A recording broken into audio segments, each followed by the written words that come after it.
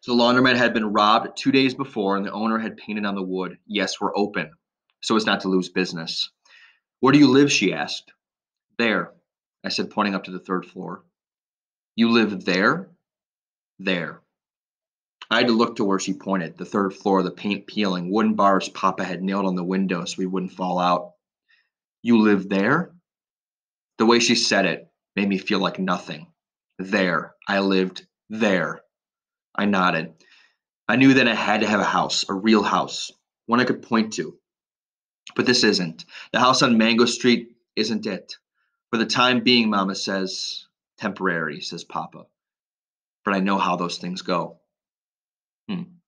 So there's a possible thematic idea of of lying, of of um, not lying in a malicious way, but but lying because the parents feel like they need to keep their children's spirits up. But it seems to me that Esperanza is getting old enough now to realize that those are false promises. So lying or deceit uh, could be a, a possible thematic idea to focus on too. Let's keep going. Hairs. Everybody in our family has different hair. My papa's hair is like a broom all up in the air. And me, my hair is lazy. It never obeys barrettes or bands. Carlos' hair is thick and straight. He doesn't need to comb it. Nenny's hair is slippery, slides out of your hand. And Kiki, who was the youngest, his hair like fur. But my mother's hair, my mother's hair, like little rosettes, like little candy circles, all curly and pretty, because she pinned it in pin curls all day. Sweet to put your nose into when she's holding you. Holding you and you feel safe is the warm smell of bread before you bake it, is the smell when she makes room for you on her side of the bed, still warm with her skin, and you sleep near her. The rain outside falling and Papa snoring. The snoring, the rain, and Mama's hair that smells like bread. So clearly some element of comfort there with that comparison. Mama's hair represents comfort and kind of peacefulness and uh, stability amid all of the turmoil of moving houses left and right and their family being uprooted constantly. Lastly, the last section for today, called Boys and Girls. The boys and the girls live in separate worlds. The boys in their universe and we in ours.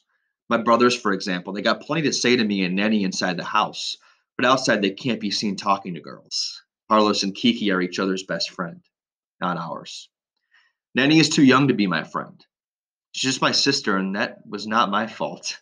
You don't pick your sisters, you just get them, and sometimes they come like Nenny. So maybe not a dislike of Nenny, but just the age difference. She can't play with those Vargas kids or she'll turn out just like them. And since she comes right after me, she's my responsibility. Someday I'll have a best friend all of my own, one I can tell my secrets to, one who will understand my jokes without me having to explain them. Until then, I am a red balloon, a balloon tied to an anchor. There's a metaphor there to round it out. So clearly, there's some loneliness as a thematic idea in her life. Uh, it seems to me that while Carlos and Kiki are closer in age and both boys, they, they have a bond. But because of how much the family has to move around and because of the age difference with her sister, Esperanza doesn't quite have that same close friend, and she certainly longs and wishes for it. So now that we have this information, how can we apply it to our writing? Which is what you will all do with your LDGs. So the next couple slides are going to take you through how you can take what you read and apply it to your reading response for today. So let's take a look at that.